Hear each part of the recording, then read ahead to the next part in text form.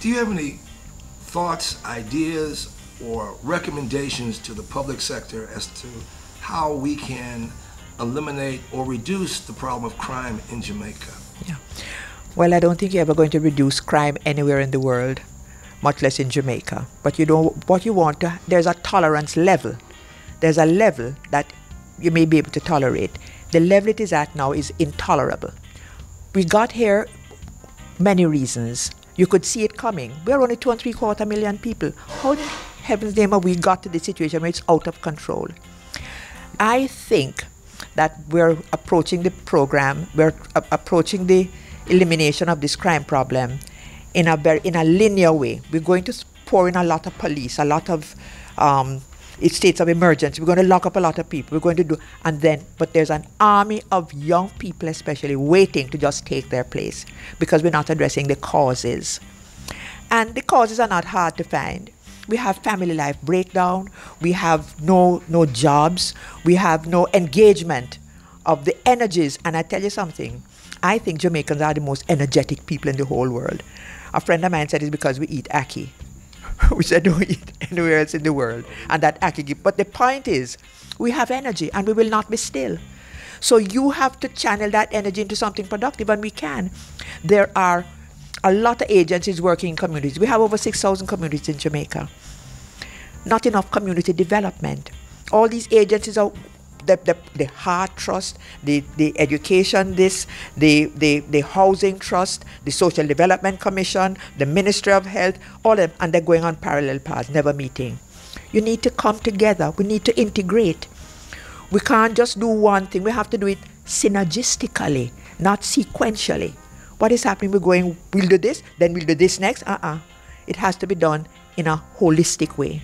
So that as you're involving the security forces in the curing of the crime, an ounce of prevention better than a pound of cure. You need to engage the cause. You need to look at the prevention aspect of it. And that's real hard work. That's community development. Prevention can take many paths. If you had the key decision makers in a room and they ask you for your opinion, where's the starting point on the solution path? in the community. The starting point is not in Jamaica House, not in Parliament. Starting point is in the community.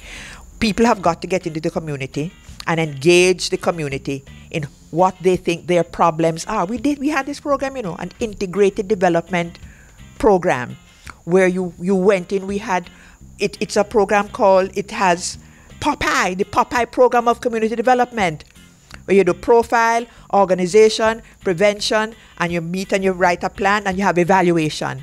And we used to do, we formed 16 community development action committees. And they were just experimental. You could re- replicate this all over the island. You begin with going in and finding out, talk to the people. They know what their problems are in the communities. What are your problems? And and you don't own the community, so they know the answer, they know the solutions. Get the leadership together, get all the people to come together to work on a plan to uplift the communities. People don't want crime in the communities, they want upliftment, they want progress. It can be done if you work with them. You have to respect them. They know the problem, they know the solutions. Involve them, they own the communities. Nobody owns it but them. The agencies working there don't own them. You speak with such clarity and depth. Do you have a professional connection with the criminal justice system in any way? Yes, well, I am at the Kingston Legal Aid Clinic for my sins. I'd said I'd be there for two months. It's now going on two years. The point is that lots of the people who come there, we have family life breakdown, lots of family life programs, lots of young people. There's lots of things about rape and sexual touching and gun crimes and this with young people. And I and that's mo- most of my work is that. And and also in the in the parish, the recovery of possession, landlord and tenant. But the thing is, the people who come into the Kingston Legal Aid Clinic, I know their problem. They have no money. They have no. They're, they're, they're scrambling.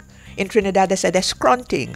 They can't. They, they don't can't put two, two, two, two, two, two things together. They don't. They, they can't even express themselves properly. When they get into the courtroom, you hear that they can't answer the prop, the questions because they don't.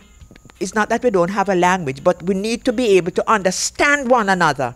There's a big division, you know. I have friends who won't go below crossroads, you know like the Mason Dixon line once upon a time. They're not going down there. I work in, the, in, in on, on Tower Street. I work in that in central Kingston.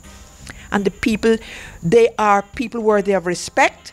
They have ideas. The government has to, those agencies that taxpayers are paying month after month have to go into those areas and work with the people, respect them, help them, help them, facilitate them. You can't tell them what to do.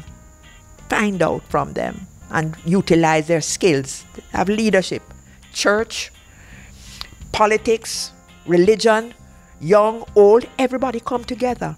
They know the solutions. Consult them. Respect them.